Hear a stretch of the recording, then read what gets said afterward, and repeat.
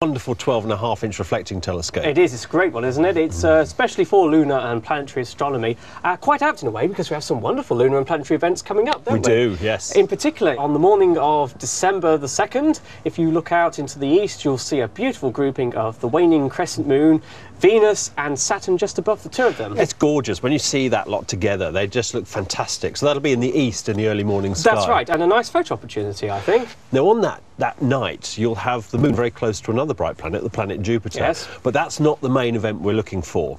On that night, the Geminid meteor shower reaches its peak. Wow. Now, you'll have to wait because the moon will wash out most of the meteors, so you have to wait until the moon is actually set. So that's just after midnight. But that's ideal because the meteor shower actually goes up to its peak in the early hours of the morning. And Gemini will be quite high in the sky by then as well, It will. So if you go out sort of uh, just after midnight, right the way through until dawn, that's when you're likely to see a Geminid meteor.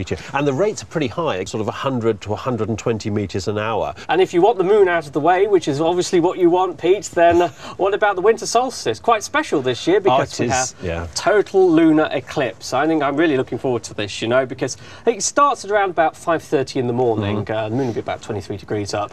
Uh, and th- but nothing will really be seen then. It's not until about half past six when the uh, Earth's shadow passes over the moon Right. that you'll really start to notice it. And I'm hoping it'll go a lovely sort of dark coppery colour and That's right, because sometimes they're quite light, sometimes they're very dark. They are, so you think it's going to go dark? I, I hope so. They're my favourite ones, the well, dark I'll, coppery I'll have to take the opposite stance then, and I'll say it'll be light. And of course, in the event, it'll be cloudy and none of us will see it. But what about January the 4th? We are going to be mightily busy then, aren't we? That's going to be a manic day astronomically. I mean, it'll start off actually on the night of the 3rd of January, heading into the 4th of January, because then we've got another meteor shower. That's the Quadrantids. And I always thought this wasn't a very active shower, but that's not true at all, Oh, is it's, it? it's, it can be very active. I mean, you can get rates equivalent to the Geminids up to 100 or That's 120 impressive. meteors an hour. The radiant position, that's the, the point in the sky where the meteors appear to come from, isn't as well placed as it is with the Geminids. So that Right. actually knocks down the number of meteors you see. I see. But the peak occurs in a very, very short time span. Right. So if you're up as you're approaching dawn on the 4th of January,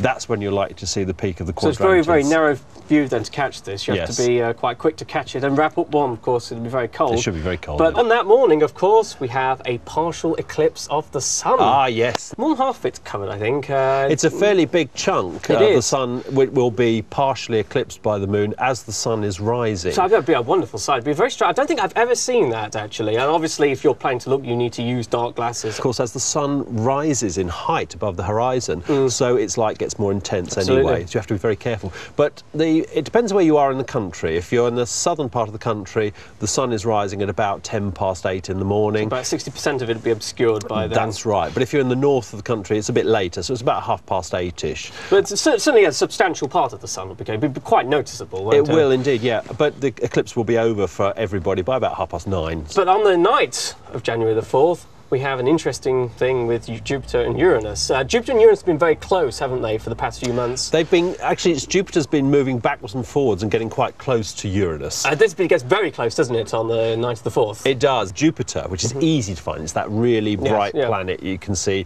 towards the southwest as the night's going on. Mm-hmm. Uh, if you look for Jupiter, find it in a pair of binoculars, and then that star you can see just above it on the night of the fourth. Just to the north of Jupiter. just to the north Hmm. of Jupiter is Uranus. Now, it will be quite close for several days either side of that. But after Jupiter moves away later hmm. on in January, that's it until 2024. So really ought to make the most of it then. yeah, definitely. Well, there's lots to see in the sky. On to our news notes now, and with Chris North. And first of all, we had a flyby of the smallest comet, also of the largest asteroid yet passed, Lutetia. Yes, this was a flyby of the Rosetta spacecraft past the asteroid Lutetia. Uh, as you say, it's the largest asteroid uh, we've flown past to date. It's about 70 miles across, so it's, it's a big beast. Uh, and it flew past at a similar distance to the Hartley 2 flyby, about 500 miles away. Um, and it means we get a resolution on this asteroid of about 60 metres, and you can see boulders, large boulders, but boulders. One of the results from the uh, Rosetta flyby is that the asteroid is covered by a 600 meter thick layer of, of du- asteroid dust, essentially. Not not too dissimilar to, to moon dust, if you like, but 600 Yes. meters thick, so so very thick indeed. If you look at some of the craters, they, they actually look very shallow, almost as they are filled with this dust. You can see the boulders dotted around, and, and then is that evidence possibly in the centre for a, a little dust slide down the Mm, bottom? Could well be, I think. Of course, the next asteroid to be studied in detail, not quite yet, is Vesta number four. That's, that's quite a different kind of body. Yes, the Dawn spacecraft is going to go into orbit around Vesta next year. And we've had some new images of it from the, the Hubble Space Telescope. And it's actually looked at Vesta at several rotation angles and they've been able to construct a, a movie of Vesta rotating. So they can try and plan what Dawn will do when it gets there to get a heads up about what the asteroid looks like, where the interesting features are, and so on. Well, um, our last news note tonight is, um, is your province. It's um, way beyond the solar system. The results from the new Telescope. The image that we've got here is a, an image that's four degrees across, so it's eight times the size of the full moon. There's about 6,000 galaxies in there, most of them seen as they were billions of years ago. And there were five galaxies that, when this image was studied, looked quite peculiar. They were very red and, and very bright. Now, this is a far infrared image, so it's looking at dust and gas in these galaxies. And these galaxies that were particularly bright were, were possibly thought to be gravitational lenses. So they studied them in, in more detail and they found they in fact were. So what's happening is that when you look in optical light with something like the Keck telescope, you see a foreground Yes, galaxy. And the, the mass of that galaxy is actually bending the light from a much, much more distant galaxy behind. And that distant galaxy is what, what Herschel's seeing. Now, what this allows us to do is study these very distant galaxies, seen as they were 11 billion years ago, so when the universe was at a third of its current age.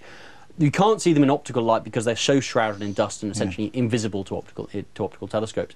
But in far infrared light, we can study them in much more detail and get a bet- better picture of how galaxies, relatively normal galaxies, were evolving uh, in the very early universe. Chris, thank you very much.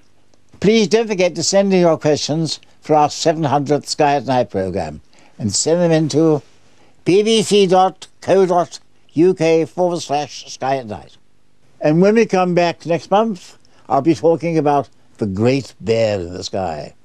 So until then, good night.